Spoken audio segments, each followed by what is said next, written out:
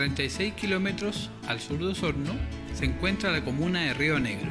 Es una zona de hermosos ríos, bordeados de bosque nativo, que se destaca por su mezcla étnico-cultural entre lo español colonial, lo indígena y lo europeo. Hoy visitaremos la llamada Ruta Huilliche, que rescata todo este patrimonio. Nuestra primera parada es en Río Negro, para participar en la tercera fiesta del huevo azul, proveniente de la gallina mapuche. Alimentación de, de la yema. Se cocinarán 3.072 huevos azules en una paila de 3 metros de diámetro. Es sin duda la paila de huevos más grande del mundo. Ahora estamos esperando que se caliente la paila para tirar la cebolla, ¿cierto? porque no es solo paila de huevo azul, tenemos que hacer algo más. Tiramos cebolla, tiramos longaniza de la zona, ¿cierto? y con eso hacemos un revoltijo de, de- de huevo. Son las mismas señoras participantes en la ruta Huilliche, las ñañas, como se les dice cariñosamente en Mapudungun, las criadoras de las gallinas y las organizadoras de esta fiesta. Y los cocineros del Recomiendo Chile hemos tenido la suerte de ser invitados a ayudar en esta rica tarea. La paila ya está lista. Ahora a colocar los 40 kilos de cebolla.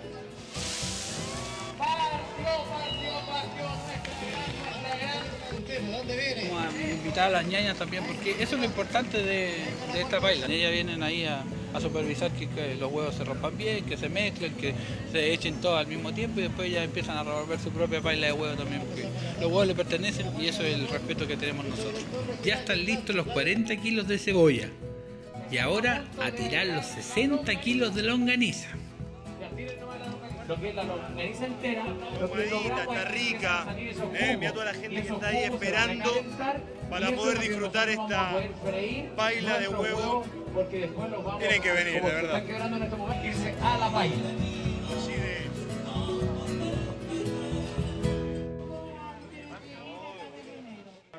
Quebra, quebra, quebra. Ah, importante re- revisar uno por uno. Puede que uno esté güero, ya como es tradición en el campo, que podemos encontrar uno que ya haya estado mucho tiempo la gallina empollando. Muchas gracias, yo creo puede que estar, eh, si no es por el con un pollito.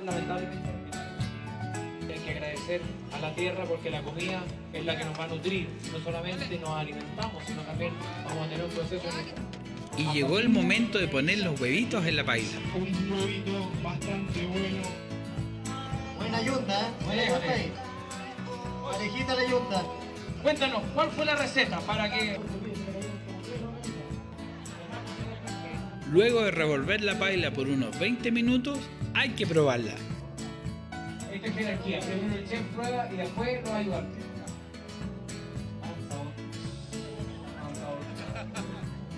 Parece que ya estamos listos. Pero la última palabra la tienen las ñañas.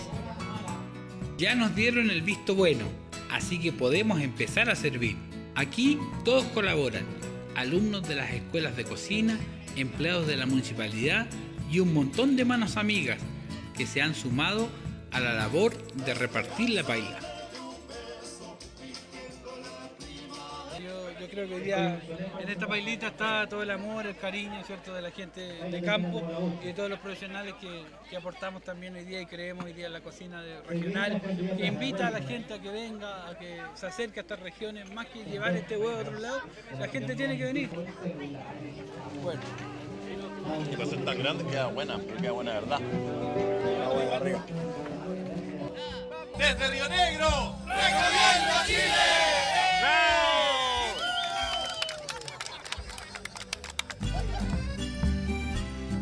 Con este alegre y sabroso comienzo empezamos nuestro recorrido por esta ruta Huilliche. Según la tradición, lo primero es pedir la autorización al cacique don Anselmo Antilef Quintul. Buenos días. Mari, Mari. ¿Cómo está? Muy bien, gracias. Mari, Mari. Muchas gracias. ¿Cómo está, Lonco? Mari, Mari, Peñi. Gracias por recibirnos, ¿cierto? Hoy día en su territorio. Bueno, para mí es un orgullo estar de- hoy día frente a un cacique. Fei, fei. Fei, Peñi. Autorizado. Agradecidos por la autorización de don Anselmo, nos dirigimos ahora al sector de Cheuquemó, a unos 17 kilómetros al oeste de Río Negro. Ahí nos espera María Cristina Cardilev y su familia. Como muchos jóvenes de la zona, María salió a trabajar fuera de Río Negro, pero decidió volver para concretar el sueño de toda su vida, construir su casa en los terrenos donde vivieron sus abuelos. Hospedaje rural El UNEI. ¿Qué le parece? El UNEI. Y yo que venía por huevos azules, También va a encontrar. también voy a De todas encontrar. maneras. Igual va a encontrar huevos azules, puede encontrar muchas cosas en este sector que lo puede sorprender. Construimos nuestra casa de poquito como la, va- la estamos construyendo y de ahí poco a poco, con poco- mucho esfuerzo, Con harto cariño. harto también. cariño y amor, que es lo que más hay en este lugar. Como ustedes pueden ver, yo no soy, no tengo pinta de, de mapuche. Porque mi papá eh, fue adoptado y criado por mis abuelitos Catrilé Cárcamo. Y yo me crié con mis abuelos acá en este sector. Siempre dice cuando era niña, cuando sea grande yo voy a hacer mi casa acá. Y cumplí mi sueño. Es un sueño cumplido. Qué bien, ¿eh? bonito. Somos varias familias que estamos en el rescate de la gallina mapuche.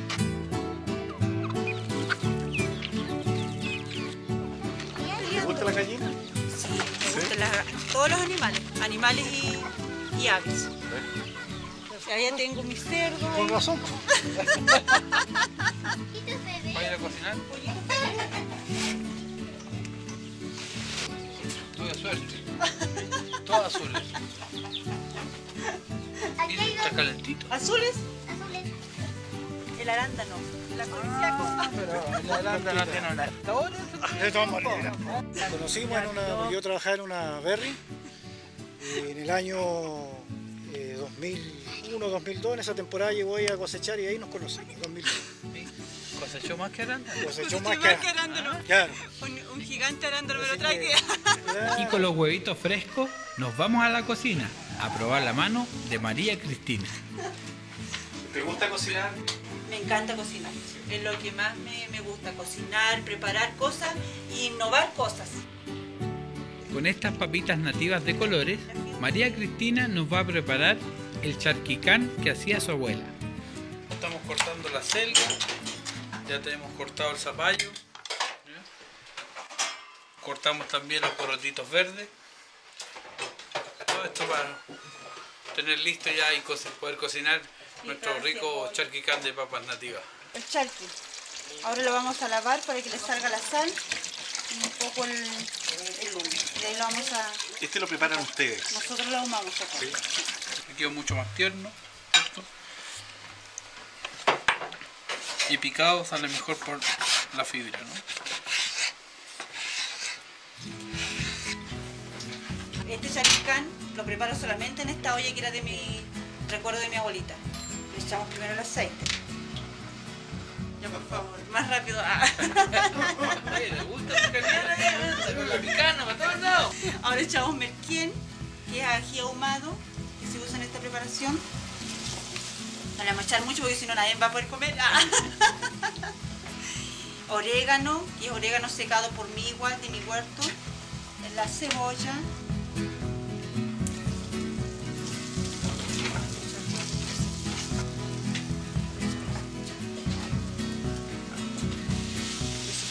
Un poco. Aquí está la, la variedad de colores que va a tener el Hay una variedad de, de colores aquí, rosado, blanco y, y morado. Morado. Sigue la- el morado del arándano.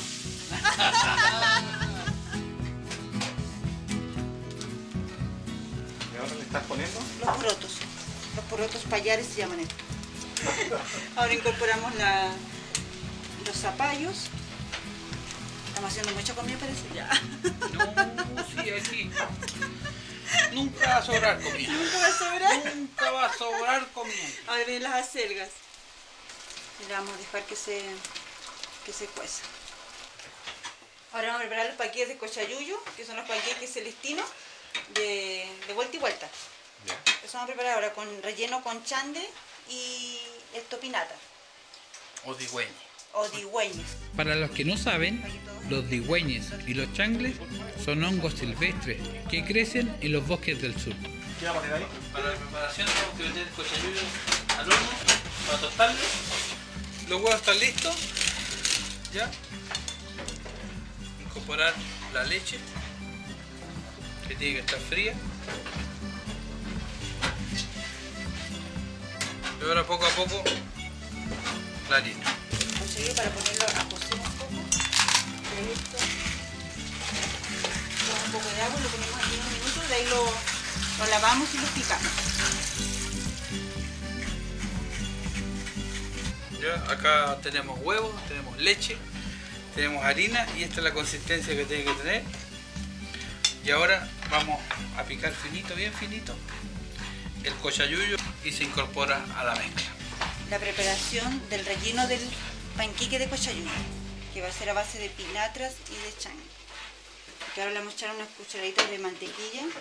¿Y esto también lo comías habitualmente? ¿Lo preparaba alguien o esto lo aprendiste? Yo lo aprendí yo ahora. Sí. Una preparación que, que me nació hacer y que espero les guste y, y salga rico. Ahora incorporamos ajo, un poco de cebolla, El sofrito ya está listo. Vamos a agregar la espinatra o digüeña y los changos. Ahora, receta sureña, que nos falta el verde, cilantro. Y hacemos un lindo juego de color. Por acá tenemos lista la mezcla. Vamos a darle un toque de verde. Charlotita todo el año.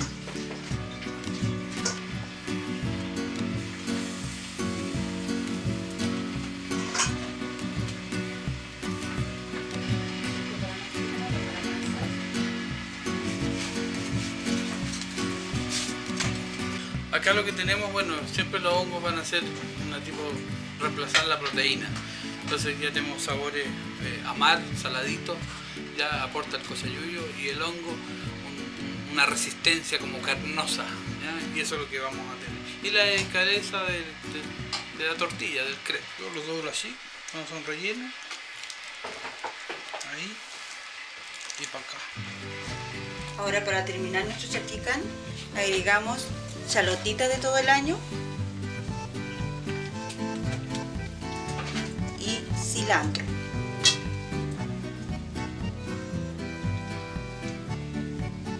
Ya está, revolvemos y está lista la preparación de charquicán.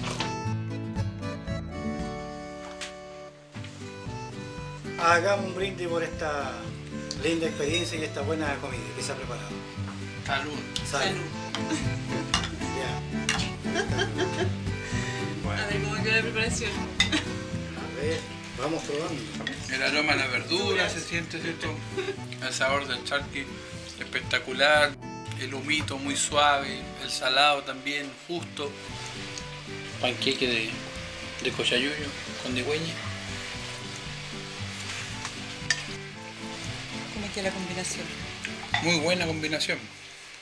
Sabor de la, del digüeñe salta inmediatamente. El relleno, ¿cierto? Se, se destaca en esta preparación. El cochayuyo, su toque marino, lo hace muy bien equilibrado. Junto a la familia Villegas Catrilev, ¡Recomiendo Chile! Dejamos esta hermosa familia, contentos de ver cómo las nuevas generaciones viven con tanto orgullo esta identidad ancestral.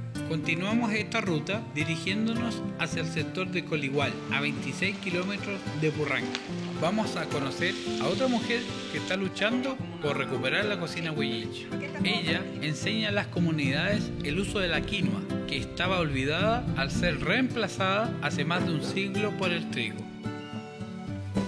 ¿Cómo está Juanita? Muy bien.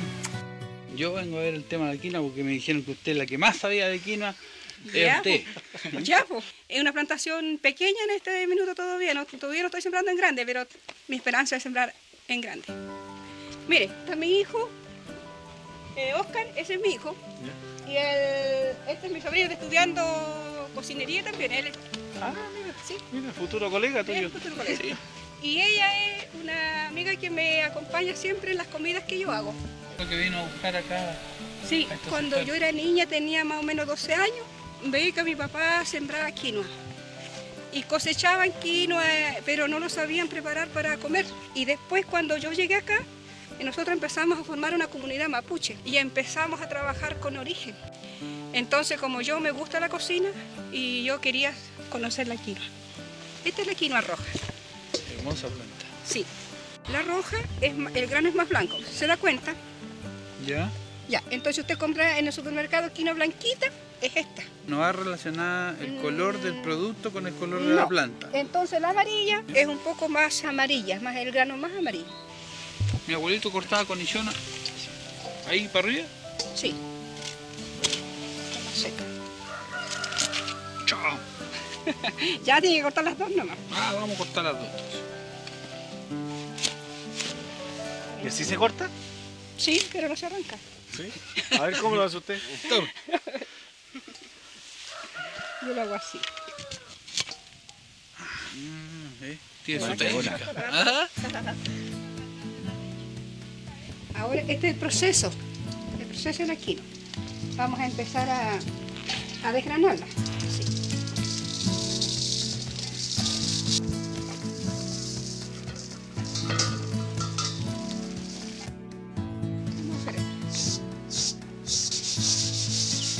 Los pollitos aprovechan ahí? Claro, ellos aprovechan ahí. Ahora vamos a la cocina y vamos a, a, a pasarle con agua caliente para que le saquemos los amargos.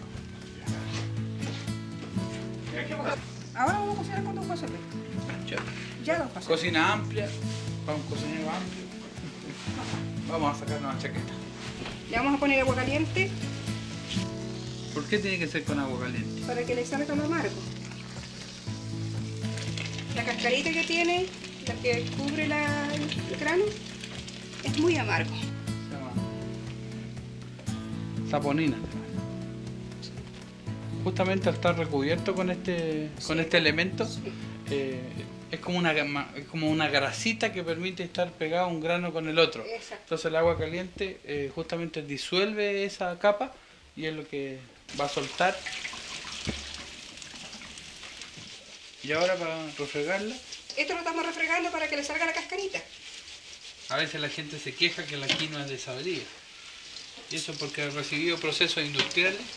En este proceso ya se puede, que lo han dejado deslavado, por decirlo así, sin aroma, sin nada. Esa es la cascarita de cada grano que tiene. Vamos a cocer. Ahí lo vamos a sancochar. Vamos Ya. a poner a cocer. Y después vamos a preparar para salado y para, para dulce. ¿Con agua, ¿Con agua fría o con agua Con fría? agua fría, porque es cereal. Ah, todo lo- Todos los cereales con agua fría, ¿cierto? Juanita va a comenzar entonces con la salsa para el pastel de quinoa. Salsa blanca. Puse una cucharada de mantequilla y dos cucharadas de harina. Y ahora la estoy tostando para colocarle leche. Yo voy a preparar un osobuco al estilo osorno. De hecho lo llamo el osorno buco. La cebolla va en cuadros grandes porque esto es un estofado, un guisado de larga cocción, así que no importa mucho que esté tan, tan gruesa. Picando ya los pimentones, morrones y mi ayudante picando el ajo. ¿Qué tenemos que hacer? Cortarles los bordecitos, ¿ya? Hacerle cuatro cortecitos al borde, ¿ya? Y eso va a impedir que la carne después se, recoja. Aceite. Y aceite frío, ponemos el ajo, para que no se nos queme. Ají de color. Que no falte nunca el color en la comida. Y lo subo.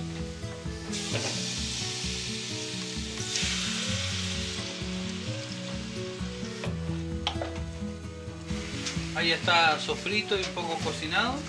Ahora viene la verdura. Los tomates bien maduritos.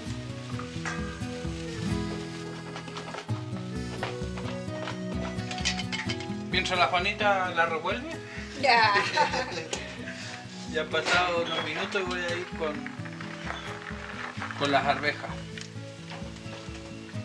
Y a seguir cocinando.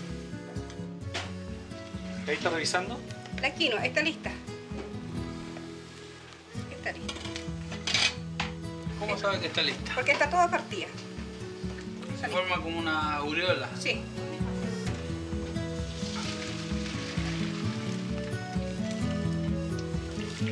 ¿Por qué reserva la agüita y no la...? Porque de ella vamos a hacer un jugo.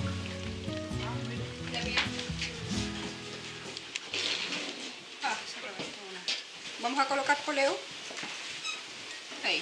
Vamos a colocar miel, que es el endulzante. Todo natural. Todo natural. Tiene lógica que sea caliente porque con eso disuelve Disuelve la miel. la miel Disuelve el... e infusiona el poleo.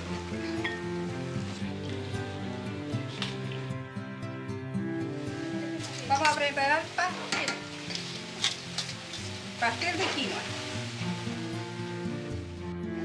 Este pastel le vamos a agregar tres huevos que tenemos acá. Le vamos a agregar una cebollita que tenemos cocida por ahí. Aquí está la cebollita.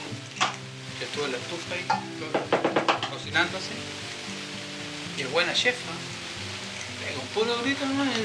Necesito sartén, necesito la cuchara. Así que vamos. Ya, ya, ¿no? Vamos a empezar a mezclar. Ya, Esta no. esta, esta tampoco.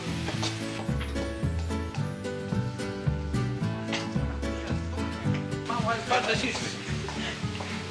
¿Cuál de todas? Esta, esta. Esta es la salsa blanca. Vamos a agregar un poco de salsa blanca. Esta es una salsa blanca bien clara. Tiene que ser bien ligera, sí. Cosa que no quede tan, tan apretado el pastel. Es queso, queso mantecoso.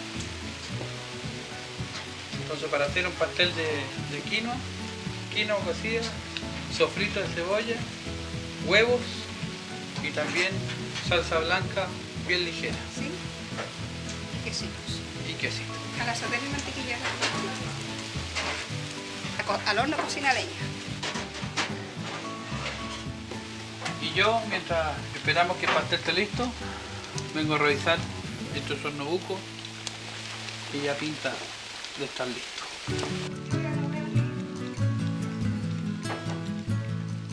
¿Cómo ha estado su, su invitado? ¿Bien? Sí, excelente. Juanita yo creo que es un ejemplo de mujer luchadora, ¿ya? de creer en un sueño, ¿cierto? Hasta alcanzarlo. Ah, está riquísimo. Ese es el pastel. Ese es el pastel. Vamos a continuar con el queso. Vamos a agregar quesito más. ¿Y Este ese es solamente. ¿Se ve bien o no? Sí, pues se ve rico. Ya puedo José, le tome su olla y aquí estamos.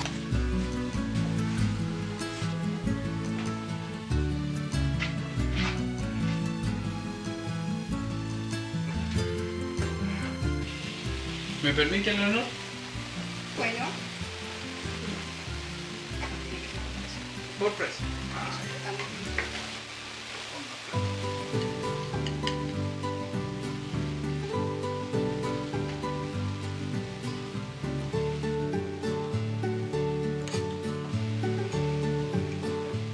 Muy bueno el pastel, tiene una textura muy suave, ¿cierto?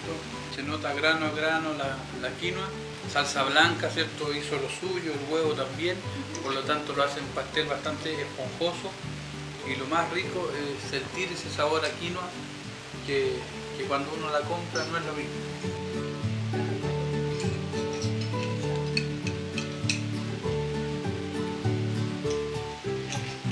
Junto a la panita, su familia, la quinoa, recomiendo Chile. Salud. Muchas gracias, Juanita. Bueno, de esta maestra he aprendido algunos secretos muy importantes para preparar la quinoa.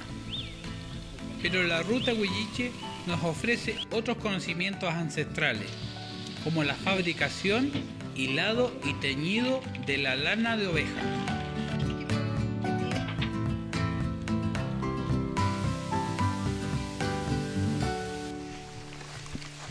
¿Cómo estás, Jolie? Hola, buenas tardes. Buenas tardes. ¿Cómo está usted? Muy bien, Igual- tanto gusto verla. Igualmente, Erika y mío. Soy artesana en lana, teñidos naturales. Y vivo Casada con Guido Antilef, ¿Y dónde está Don Guido Antilef? aquí. Aquí este pechito. Él, Guido, Guido. casada con cinco hijos. ¿En este lugar siempre? Siempre aquí. Sí, siempre. Toda mi vida ha sido aquí. Soy nacida y criada aquí. ¿Usted se lo trajo acá? Sí, me lo traje. ¿Sí? me lo arrastré. Este es echarpe hecho por mis manos. Yo me crié sin papá, mi papá no me quiso reconocer. y Viví, con la pura mamá nomás. Y mi mamá me enseñó a tejer. Por eso salí adelante. ¿Y las chiquillas que nos acompañan atrás? Ellas son mis sobrinas, las otras son mis hijas, la otra señora, la señora Margarita. Todas hilanderas y tejedoras. Nos vamos al tiro con las ñañas a hacer unas preparaciones, pero no precisamente de comida. Aquí llegamos Aquí vamos a llegar al lavar proceso la lana. lavado de la lana. esquilando, ya se llama. Claro, después que se esquila, Sí, se esquila y saca ahora la lana. empieza el proceso de lo que es el lavado, a clasificar la lana, las lavas. Y ahí uno nosotros le botamos agua caliente y empieza a salir la lana blanquita, como lo que nosotros queremos, ocupamos para lo que es nuestro trabajo. Y lleva harto harto proceso lleva esto. Lleva harto, es harto trabajo. ¿Y para teñirla cómo la hacen aquí? La ponemos acá. La, la, Hay que mojarla para poder eh, colocarla a los peroles del tejido. ¿Con qué está tiñendo acá? con cebolla. Solo la cáscara le da ese color. Sí. Mire, Y aquí tenemos el otro material, pillo pillo. que es el pillo pillo, que es un asunto vegetal igual que estamos en el campo, y sacamos otro tono de color. Está listo. Ese tono está listo. Eso está listo.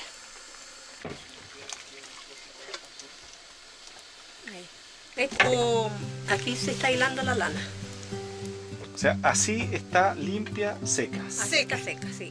Limpia, seca, ya escarmenada. En punto de hilarla. No, no Ya. es difícil. ¿Cómo se hace? Tiene que toser así. Ahí, el uso. ¿Vamos a torcer? Así es, así. Ahí. No sirvo. ¿Y para eso hizo? Para puro reírse de mí nomás. Reírle el sistema. Yo Se mejor, mire, yo mejor lo voy Se le hace pasando. un bozal ahí, mire. Se le hace un bozal Se coloca ahí. Y de ahí Ya. se aprieta. ¿Ves? y de ahí se aplica. Sí.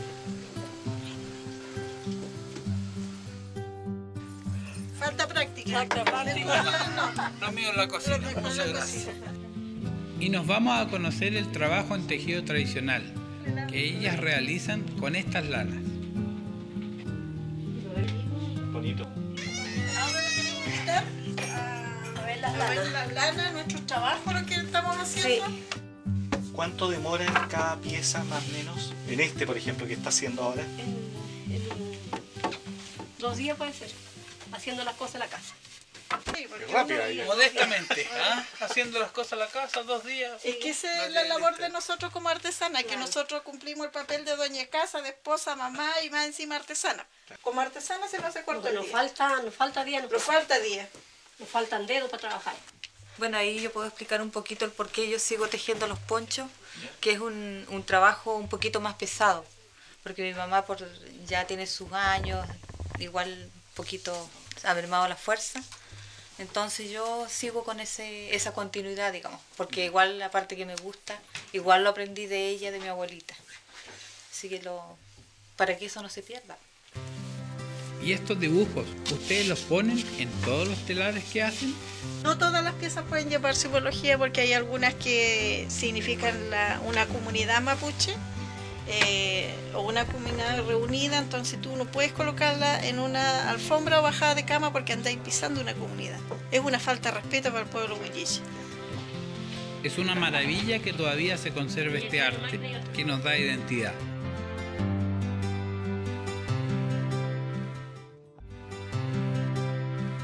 Seguimos rumbo entonces hacia la localidad de Bolsón, a 21 kilómetros de Río Negro. Vamos a conocer a otra productora de huevo azul, la señora Matilde Pinol. Ella fabricó carbón artesanal para la gran paila de huevos de la fiesta.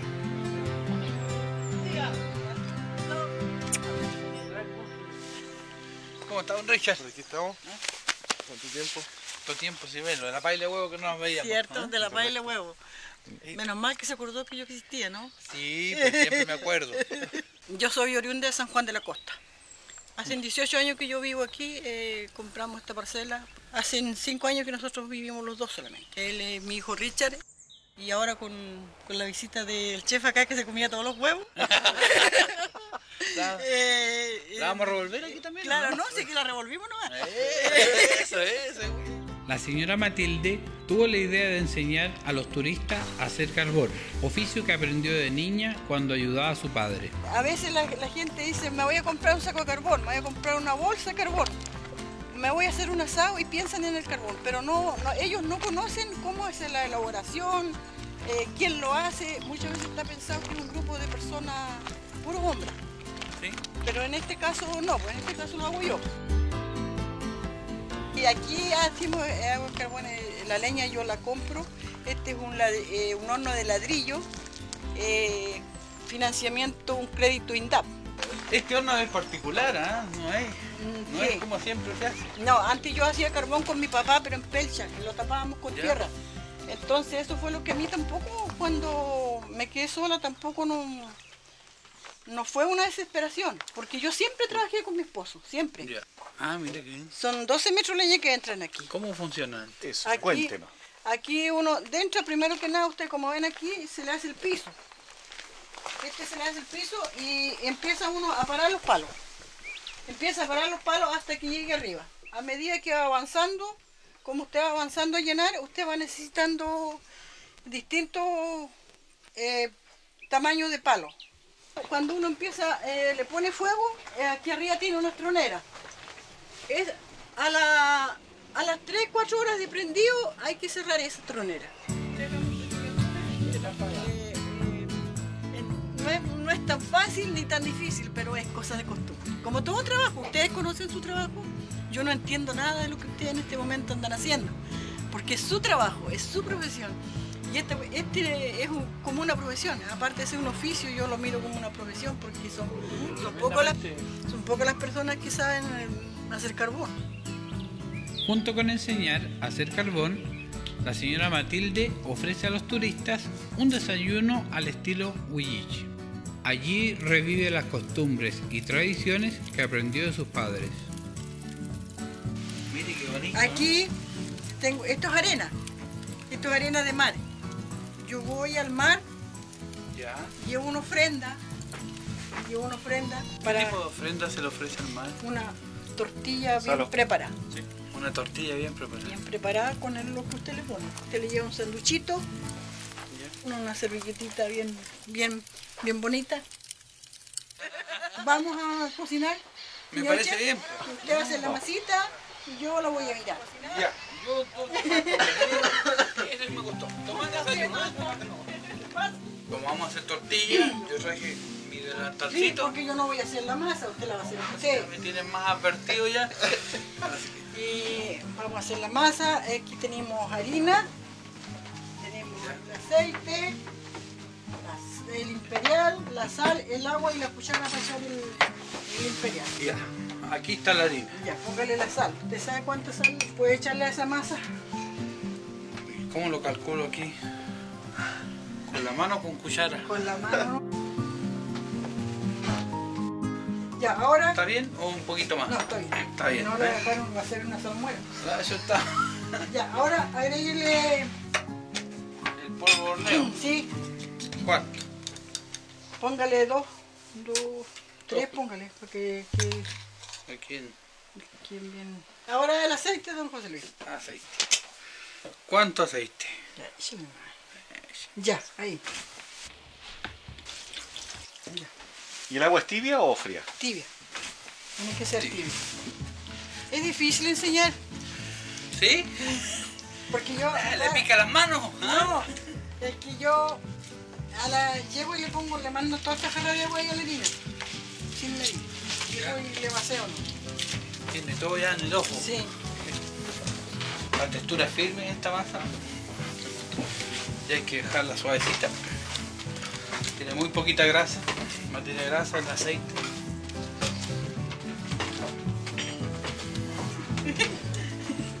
Tiene que romper, tiene que romper la masa.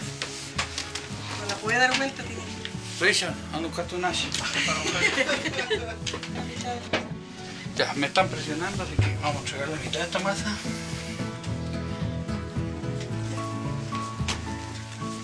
Y hacemos más, y hacemos pan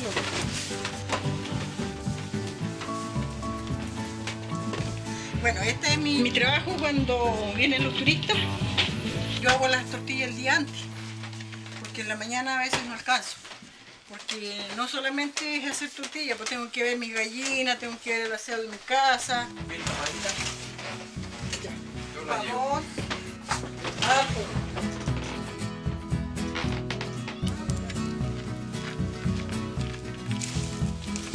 Bien, vamos a cocer tortilla ahora. Ver. Ya. Ya, pongámosla. esta para Richard, ¿cómo la ponemos aquí? A ver. Ya. ¿Así? de- Sí, así.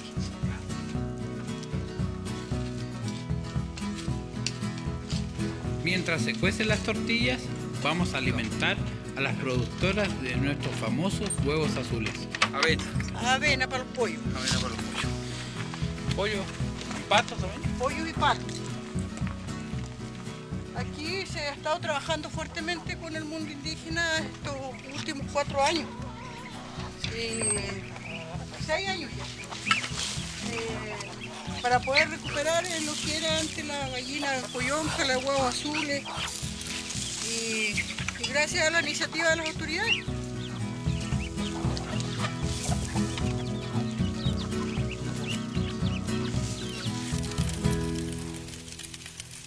¿Cómo está la ¿Tan buenas? Están casi a punto. Inversión.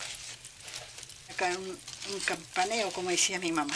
Campanea, está buena. Importante su mamá en su vida.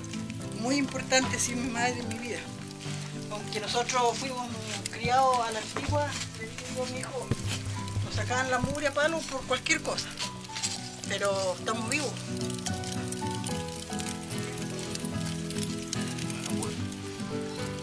Aprovechando el fuego, aceitito. Es una paila harto más chica de la que se usó en la fiesta. Sí.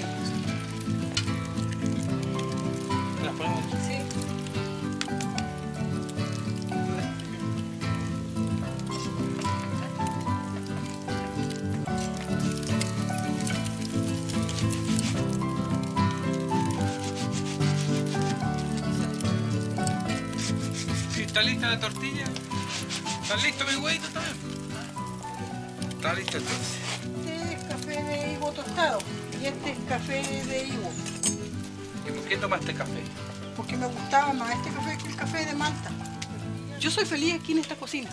Yo dentro aquí me siento horas y horas cuando estoy sola, como mi hijo trabajaba por fuera. Yo me vengo en la noche, tarde, me siento aquí y veo cómo fue mi niñez. Y eso yo lo voy a estar traspasando de alguna medida a la gente de la generación de ahora y a los visitantes. ¿De qué viene ahora? La difícil tarea, ¿cuál es? Comer. Comer.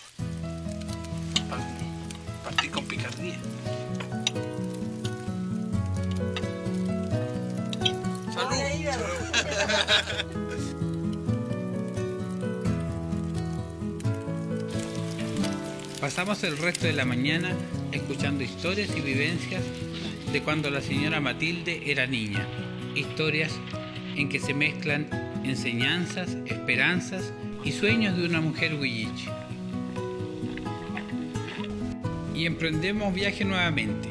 Vamos a subir ahora a una cima de la cordillera de la costa, a unos 45 kilómetros al oeste de Río Negro.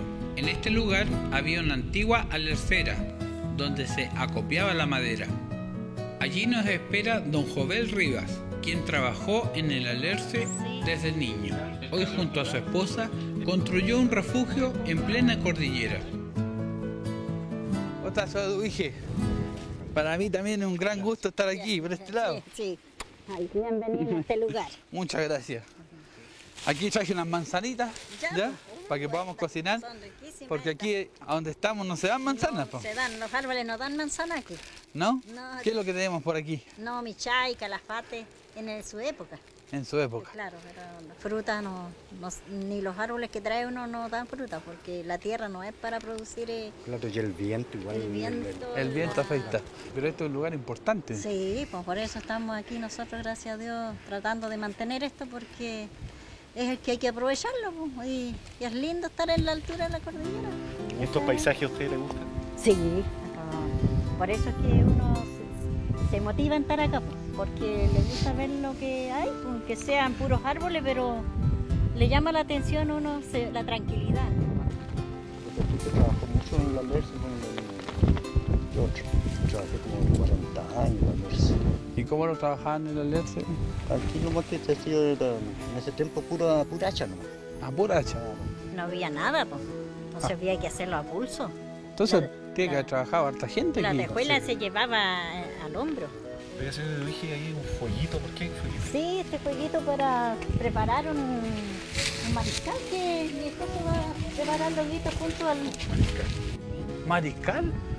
¿Por qué vamos a hacer un mariscal en este lado? Sí, porque eh, nosotros eh, antes siempre hemos comprado el marisco que viene del mar, así que esto viene no de ahora, ya costumbre del- de la antigüedad, dijo que los traían antes la- el, el marisco, el cochayuyo, todas las cosas de mar, lo traían las personas que venían hacia...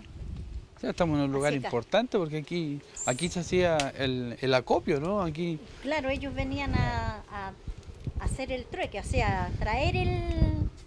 a traer sus traer, productos. claro, en la mula, en- porque en ese tiempo todavía existían los burritos pues, y las mulas. Ya. Así que ahí traían la, la mercadería.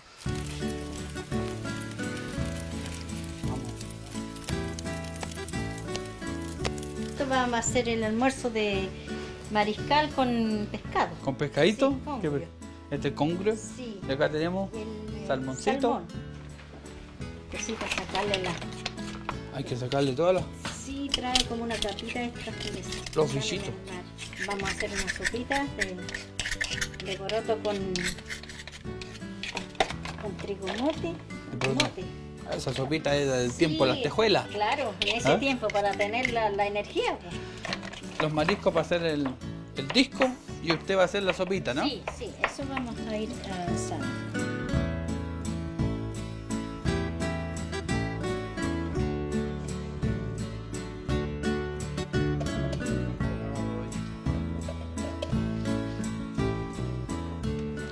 Loma aquí nomás. Importante también, el- ¿qué le echó? ¿Le echó color? Sí. Usted me dice cuánto. Ya, por ahí nomás. Ahí está. Sí.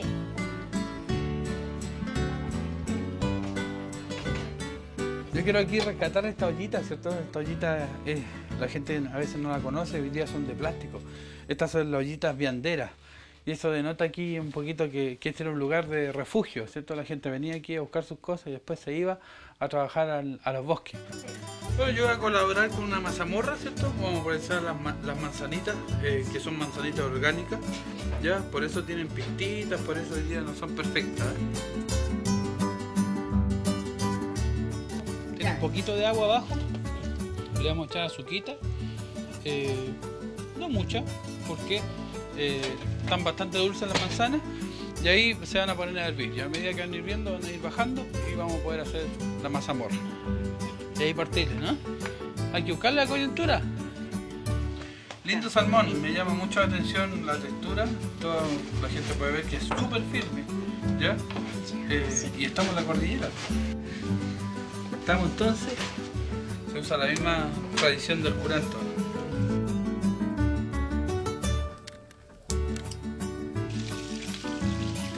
¿Cómo se conocieron? Se- hubo una conversacioncita ahí de amistad. Y ahí se fue haciendo la- las Como en cosas. tiempo, lo- como le quieran, se iba a buscar agua en las quebradas, ¿no? Así que con las piedrecitas uno empezó Ah, ahí le empezó a tirar agüita. Ah, Sí, ¿quién, ¿quién empezó la conversa ahí? ¿Ah? Bueno, el hombre siempre es más valiente. Ah, Sí. el hombre minero ahí, yéndole, claro. tirándole piedrecita al agua ahí y miró para el lado, ¿no? ¿Ah? Ya se criaron nuestros hijos y y no están con nosotros, por emigraron, porque la cordillera aquí es muy duro el trabajar del hombre. ¿Qué le traigo? Aquí viene el marisco ya. Aquí tenemos eh, almeja, tenemos chorito y esta rayadita que está ahí es cholga.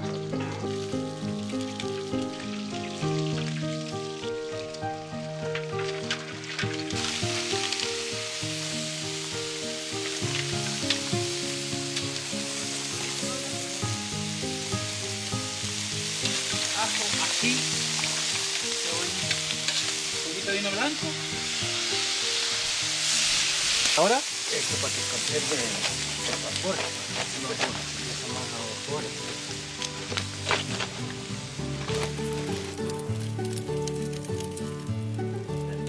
Mientras esperamos que, que se cocine la primera parte del disco, yo voy a, revisar mis manzanitas. Que poco a poco se van cocinando, ¿cierto? Y se van desbaratando y haciéndose esta mazamorra. Bueno, ahora viene el pescadito. Antes, poquito de sal. Todo tiene que ser sazonadito, ¿cierto? Para que quede rico. ¿ah? Ahora vamos a volver a tapar otra vez para que bien tapadito por todos lados porque el vapor cocine el pescado. Y mientras se cuece el mariscal, don Jovel insiste que pruebe su tinaja. La verdad que un baño de agua caliente en la cordillera no es algo que pueda rechazar. Mmm, qué maravilla. Alcancé justo a vestirme para volver al grupo. El mariscal ya está listo. Bueno, como he sido tan bien atendido y recibido, me ayudaron, ayudamos a cocinar y ahora vamos a servir, ¿cierto? Ellos cocinaron, yo sirvo. Una sopita de porotos con mote. Pescadito, tierno, jugoso. Te damos gracias por compartir este- estas cosas, este alimento, Señor, y lo vamos a servir en la bendición del Padre, del Hijo y del Espíritu Santo. Amén. Amén. Bueno, yo tengo que decir que esta sopa está genial, tiene una textura, ¿cierto? Ha estado muchas horas cocinándose, pese a tener muy poquitos ingredientes, hoy día la sencillez, ¿cierto? Se ha hecho presente, pero la calidad inigualable.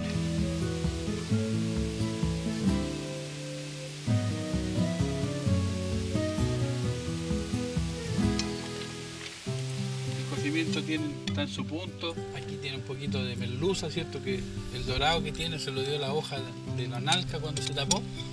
Eso hace una mixtura de sabores muy, muy rica. Desde la cordillera Catriguala, recomiendo Chile. Bajamos de la cordillera renovados por el aire puro, el cocimiento y ese increíble baño caliente. Continuamos la ruta Huilliche, ahora en dirección del sector de Río Blanco, donde se ubica la comunidad de Choyún Mapu. En el año 2011, las 15 familias que la conforman se agruparon para realizar turismo etnográfico.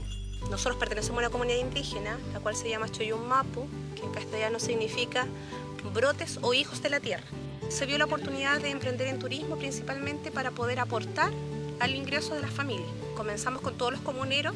Dentro de todo este proceso quedamos las dos, decantó en nosotras dos. Y de hecho recuerdo muy bien cuando uno de los comuneros muy amablemente me dijo, Paulita, por favor, déjeme con mis ovejitas nomás. Elizabeth vive con su esposo Hernán en una casa de madera que tiene más de 100 años. Crían gallinas mapuches que ponen huevos azules. Don Hernán tiene su propio emprendimiento de artesanía en boqui. ¿Qué es lo que es el boqui? El boqui es una enredadera que aparece en los bosques húmedos, en los humerales. Es una enredadera. Entonces, este sería un trabajo de eso, ¿ves? Este, este es como un fondo de canasto, pero yo también lo hago como para aquí, lo hago como arreglo floral con mis flores secas. ¿Ya? Ya. Entonces, como para ambientar. ¿Era útil para el pueblo, cierto? Para ustedes como herramienta, como... El boqui quizás, eh, sí, para ciertas cosas, para amarrar palos, para hacer cerco lo más probable. La Ya. ñocha es esta. ñocha. Eh, la ñocha se utilizaba antiguamente cuando se cosechaba. Mi abuelo, yo me acuerdo, que por eso es que la planta de la ñocha está cerca de nuestras casas, porque la cultivaban para, para pita. Ahora vamos a mi casa adentro, ahí a la cocina para que cocine. Vamos a entrar en terreno. terreno. Hoy día vamos a preparar una- un pastel de poñi con pollito. ¿ya? De papa. Sí. Pollito de campo. Ah, bueno, acá tenemos cebollita, un pollito de campo que es fácil de reconocer porque hoy día tiene estas grasitas amarillas que lo hacen un pollito feliz que anduvo ahí comiendo pastito y granito. ¿Cuánto ají de color? Eh, son una mitadita. Eso ahí. Vamos a meter unos. Ese mortero tiene muchos años. Ese mortero era de, era de mi suegro. Mi suegro a mí me enseñó. Él me conversaba de su historia. Por eso siempre que yo hago algo o en nombre de, de nuestra raza, le digo, a él le pido mucho neguán. Ahora tenemos que colocarle el pollito porque como es Más más firme que el... Más fibroso. Aquí la jefa mandó aplicarla de esta forma, ¿ya? Supongo están bien picaditas. ¿no? Sí, sí, están bien picaditas, las dejó bien bien. Le pone media tacita de vinito Como borrachito. para que no sea tan borrachito y se le entera nomás. No le echaba Eh, echamos, vale, el problema, ¿cierto?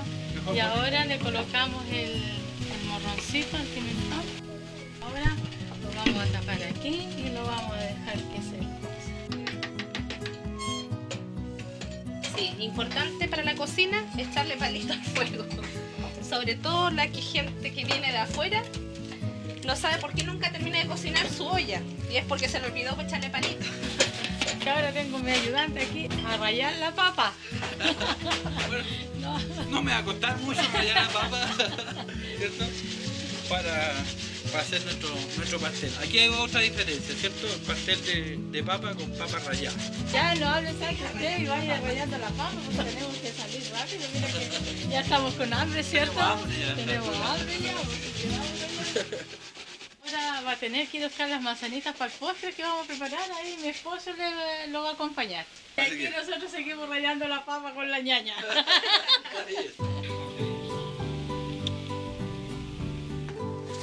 Esta oportunidad pocos cocineros hoy día la tienen, ¿no? ¿Ah, sí? Claro. Sí. Está premiado entonces. Bueno, aquí esta manzana está muy buena ya para, para chicha, para postre, para lo que venga nomás. Porque te va a caer en la cabeza. Es maravilloso. Se me van ganando. ¿Más? ¿Tienes que hacer más?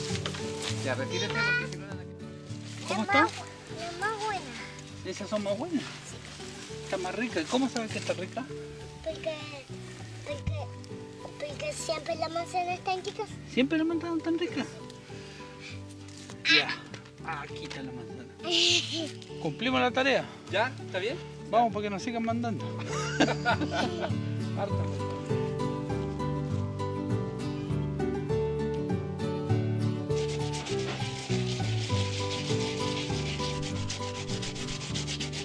Ya, con eso vamos a tener que ahora hacer nuestras manzanas al cutrán. Ya, ¿Qué pues. le parece? Bien, me Tenemos parece. que ahora, bueno, rayó la papa, ahora va a tener que pelar la manzana. Ya, ¿qué le hacemos a la La manzana? manzana hay que cortarla, ¿cierto? Sacándola del medio. Y la trozamos en orejones, como se le dice. Ya, ahora vamos a mezclar esto, ¿cierto? Las manzanitas con un poco de canela. La harina tostada le va a dar un, un saborcito más bien ahumado, ya, y lo va a hacer hoy día un plato típico de, de, de esta tierra. Ahora entonces tenemos que mezclar la leche con los huevitos azules, porque aquí el Todo con huevito azul. Todo tiene que ir con huevito azul. Enterita con nata y todo. No, sí, todo tiene que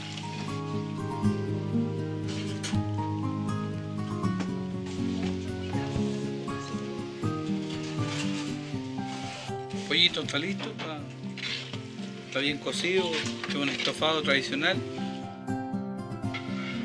Y ahora le ponemos la mezcla de papa rallada con huevo. Estos se van a la onda. te pareció esa preparación? Interesante, sí, diferente. Eh, no lo había visto, pese a vivir en la zona.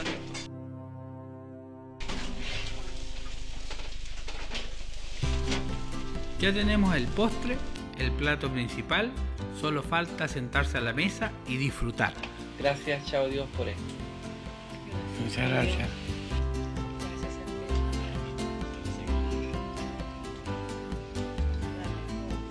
Voy a probar el, el pastel de el pastel de papa, que es como un estofado de pollo, ¿cierto? Y arriba con un milcao. Esa es la, la gran diferencia. No es pesado, no es pastoso, y el estofado sin duda es lo que invade todo el sabor de la boca. Gracias también por, por abrirnos las puertas de su casa, compartir con nosotros la, las recetas. Hoy día estos platos son maravillosos, no tienen nada en que envidiarle a ningún restaurante, a ningún otro país, porque esta es nuestra cocina. Disfrutando estos sabores huilliche, recomiendo Chile. ¡Salud! En homenaje al territorio de su gente, voy a preparar un estofado de pato con un rico guiso de mote y habas. Para eso vamos a colocar aceite y la olla a calentar. Un poco de ajo picado en conjunto con la cebolla picada en cuadritos.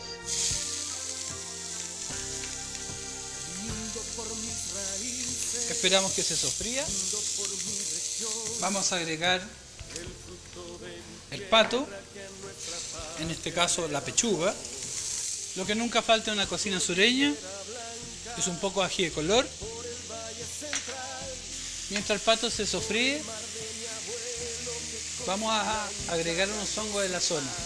Estos hongos se llaman changle y gargales. Los vamos a picar y lo vamos a incorporar en este rico estofado. Para que este estofado también tenga un poco de color, agregamos zanahoria, vamos a agregar tomate, vamos a condimentar con un poco de laurel, una rama de tomillo,